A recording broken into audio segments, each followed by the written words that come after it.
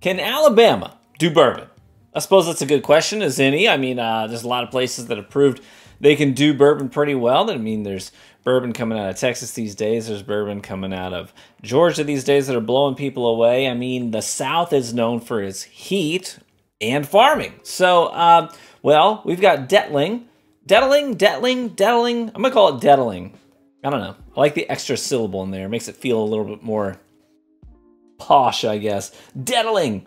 So I've not even heard of this distillery. But a friend of mine named Matt sent in the sample. He says, hey, gotta check these people out. Craft distiller, family run uh, operation in Alabama. And they do a lot of the farming side of things themselves as well. So a lot of times you get these brands that just pop up and they're like, well, I want to get into whiskey, so I'm going to buy somebody else's whiskey. They're going to do, uh, you know, somebody else did the farming, somebody else did the distilling, somebody else is doing the aging. I'm just going to buy a barrel, bottle it, and call it something else. This is not that. This is, hey, we want to, uh, we started out as farmers. We know our grains. We're passionate about the, uh, you know, the grains that we raise here on our property. I think we want to distill it. And then they're taking the next step. So that's what Dettling is. And this is the cask strength 116.5 proof. Thank you, Matt, for sending this in to me. I appreciate it. We're going to try it out. We're going to see if Alabama can do bourbon whiskey. I'm just gonna I'm just gonna pour the whole thing. I gotta man the grill in about 20 minutes. So I may as well have a pour of something while I'm doing it. This is Dettling Cask Strength Straight Bourbon Whiskey. This is at least four years old. They say on the website that they pull these barrels from the upper floors of the warehouse. Those are the ones that experience the most heat, right? Heat rises, and we're in the south. So this is to be similar, I think, to Texas whiskey in the sense that you got places like Still Austin. They're like, our bourbon's ready in two years. I mean, it's hot. So it's making those trips in and out of the barrel super fast. so we got to pull it out of that barrel ASAP before it turns to syrup. So this is kind of a similar thing. They say it's at least four years old. I don't imagine it's going to be much older than that. Right at 116 proof, they're probably pulling it pretty close to four years. Uh, you know, just so they don't have to put the age statement on it would be my guess. But we shall see. I gotta say, it is really dark in color. Look how dark that is. It's a real mahogany. You know, sometimes you get like a copper color, caramel colors on whiskeys. This is really that dark mahogany color. So they know that they're really passionate about, you know, the grains that they raise, really a grain to glass kind of a, a craft distiller. So I always appreciate that. One thing that's interesting to me though is they said the majority of the, the grains in here are, you know, the corn that's raised there in Alabama which is why it's bourbon. But they have other flavoring grains they refer to. They say um, our flavor grains come from the craft beer and baking worlds. We use grains from Germany, Chile, USA, and Canada. So that's kind of interesting. I'd be interested to know exactly what kind of a mash bill we got on this, but they don't disclose the mash bill on the website. Only that it's bourbon, which means it's at least 51% corn. Let's get in here and nose this thing, yeah?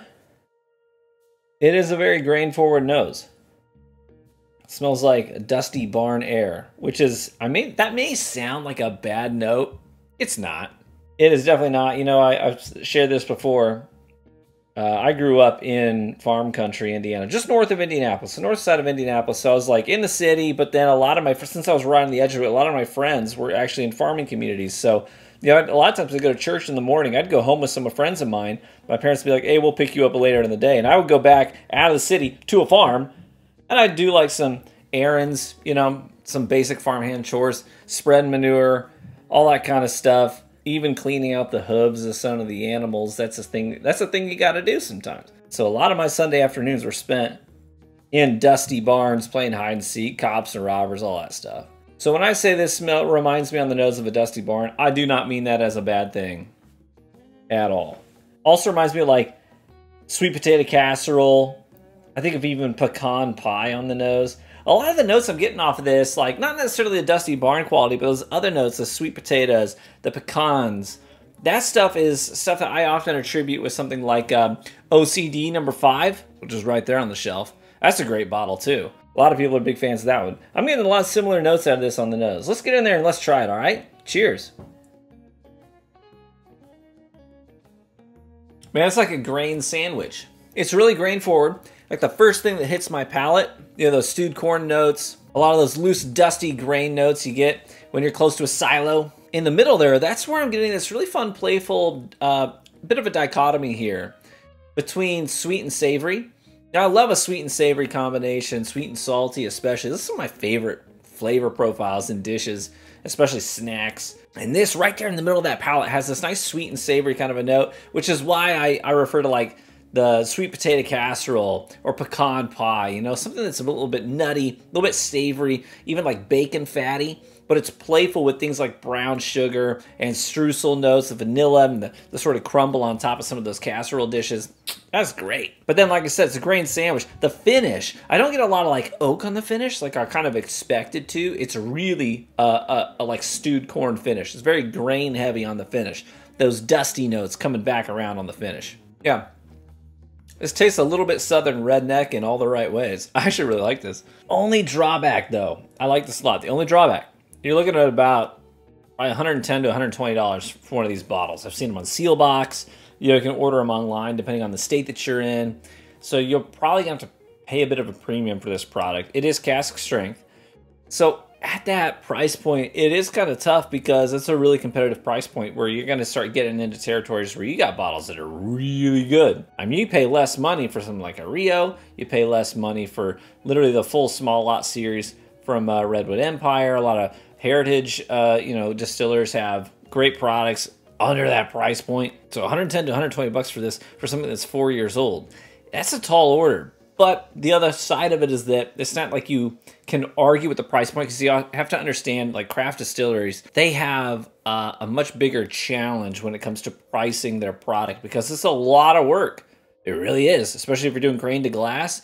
You're doing some of the farming, and plus you're buying extra grains for flavoring purposes. There's a lot of investment up front for your product. So you do have to put a bigger price tag on it just so you make money on the product. So it definitely makes sense in that regard. So you could always like start with something else, like maybe their bottle and bond or just standard expressions and see how you like their profile. Get introduced to their profile first before you go buying something like a cask strength bottle from them. But I gotta say, I'm impressed by this. This is really good. If I'm just talking about the way the whiskey tastes alone and nothing else, I like this a lot. I'd be more than happy to have this on my shelf and sip this on a regular basis for sure in a lot of ways, it reminds me of the Craft Distillery Rock Filter, which I think is, I mean, they're phenomenal. I love it. Very grain forward. And so it reminds me of that in a lot of ways. But if I'm going to give this a score per my scale, you know, I think the only knock has got to be the price tag, just because it is not cheap to like get into one of these bottles, but it's a great flavor profile on its own and you'd be more than welcome to try something a little bit cheaper. Just get introduced to their profile before you go and spend the money on something like this. But giving it a score on my scale, I think I'm gonna have to come in at about like a uh, probably that 7.8 range, which is which is really good. I mean, that's pushing into excellent territory, right? I think at the very least you should give them a shot. If you ever see a bottle of Dettling uh, on the shelf somewhere, or you're you're perusing the internet and you see a bottle somewhere at a decent price, you want to get introduced into their flavor profile give them a shot. Yeah, check them out. I think uh, this is this has earned them a lot of good favor in, in my eyes. And if I'm going to see a bottle of theirs on a shelf somewhere, I'll probably be more inclined to pick it up just because I already had this sip and really enjoyed it. Thanks again, Matt, for sending this in to me. I appreciate it. Very kind of you, brother. Hey, if you enjoyed the video today, let me know by leaving a like on the video. It's the best free way to support the content here on YouTube. And feel free to get involved in our Patreon or Discord groups. The Discord totally free. Hop in there. We got a lot of great folks in there and uh, sharing the responsibilities. A lot of times we're like telling each other what we're looking for. So it makes bourbon hunting a lot more easier because someone might find the bottle you're looking for and you might find the bottle someone else is looking for. And they can do the swap. It's perfect. And feel free to check out the Patreon. Uh, link is in the description as well. You can join for as little as a buck a month and support the channel by funding the bottles we get to pick up and review right here on YouTube. Cheers, my friends. May you live richly and get better with age. And I hope to catch you in the next one. Bye-bye.